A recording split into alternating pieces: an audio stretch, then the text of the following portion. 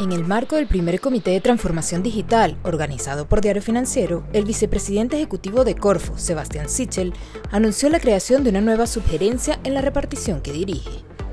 Se trata del área de transformación digital, que operará bajo el alero de la Gerencia de Capacidades Tecnológicas y que reemplazará al actual Comité de Transformación Digital a partir del 1 de enero de 2019 y que apunta a acelerar dicho esquema de las empresas chilenas. Con este paso, buscan que la transformación digital sea una línea transversal institucional, que dentro de los subsidios que otorga la Corfo se instalen capacidades en los instrumentos para acelerar los procesos de transformación de las empresas. Esto implica que aquellos proyectos que tengan incorporado la transformación digital y que estén postulando a los subsidios van a tener incentivos adicionales. Sichel también se refirió al proceso de simplificación de Corfo, que busca reducir las 144 líneas de financiamiento a menos de la mitad.